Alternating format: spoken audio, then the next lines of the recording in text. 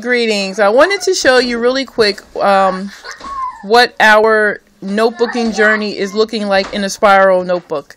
Uh, we usually do lapbooking and notebooking in a binder, but this year I decided to go with the spiral notebook after being inspired by some uh, pictures and videos that I've seen.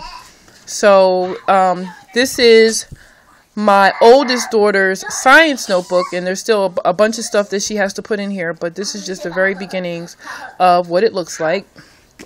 Um, she's going to decorate the front, and um, on this part of the book, I have to put um, her rubric and what's expected of her in the notebook so she knows what to do. This is the table of contents, and this is going to let me know um, everything that's in the notebook and I'll be able to go directly to that page. Every page is going to be numbered. On this page, we have the very beginning of the unit, which is the human body.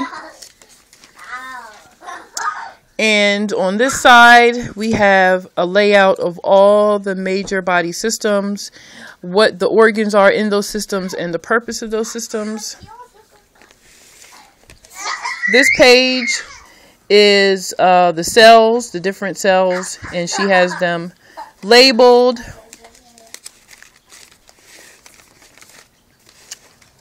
This is a quick little flip book of Did You Know? And it talks about the bones. And this is a little flip book that has the skull.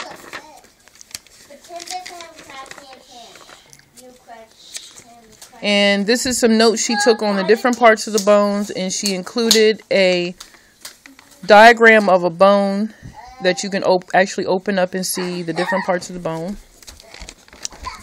And here we have a few facts about bones. So, so far she's just adding this um, information in here about bones. She has a lot of stuff in here about the muscular system that she's about to add in here, and we were working on that. And then we're on to the um, respiratory system, I think. I have it on my outline. But um, that is what uh, we are working on. They really like it.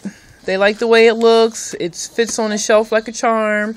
And it's not as bad. I thought it would be um, rough, that they would be kind of hard on the pages. But so far, so good. She's been um, putting it away, and I haven't had any rips or tears in the book as of yet. So um, this is just the beginning, and later on uh, in the coming weeks or months or so, I'll do an update on uh, how the interactive notebooking is coming along in the spiral. Peace.